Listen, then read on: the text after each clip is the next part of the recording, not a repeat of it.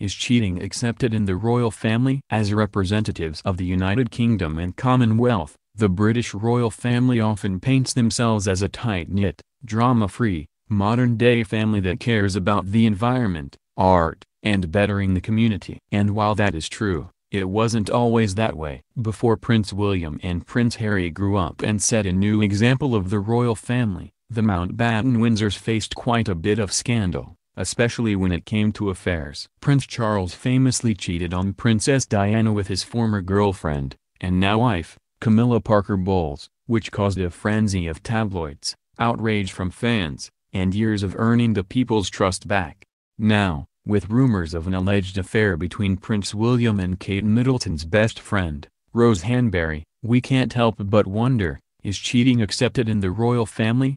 Royal family affairs. If you ask the Queen, she would likely deny that having an extramarital affair is allowed in royal life. However, many prominent members of the royal family have cheated on their spouses. Here's a look at some of the most famous royal family affairs. Prince Philip Prince Philip has been accused of cheating on Queen Elizabeth several times throughout their marriage of over 70 years. Shortly after marrying then Princess Elizabeth, the Duke of Edinburgh was linked to singer Pat Kirkwood. And, According to Newsweek, Prince Philip and his alleged mistress has dinner and danced at a nightclub together. The two also allegedly exchanged letters and the singer once claimed she would have had a happier and easier life if the prince never visited her in her dressing room. The Duke of Edinburgh was accused of another affair in 1957 with a woman whose name was unknown. Additionally, many royal biographers claim Prince Philip had a few affairs with young, beautiful women. According to royal biographer and journalist,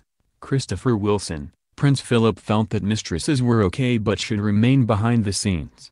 Prince Charles Although the Duke of Edinburgh might have cheated on Queen Elizabeth, Prince Charles is the one royal most famous for having an extramarital affair.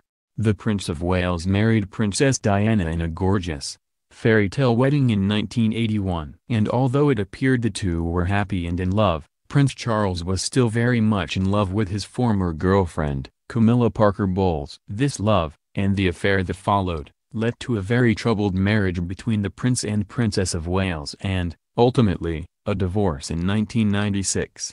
We know from the Queen's reaction to Prince Charles's behavior that she was not happy about the affair. However, it's unclear whether or not it had to do with the fact that Prince Charles was in love with Camilla Parker Bowles or that affairs were not accepted in the royal family. The problem with Prince Charles was, you are not supposed to be in love with your mistress, you are supposed to have sex with your mistress, but Charles had fallen in love with Camilla, and that really screwed everything, Wilson told Express.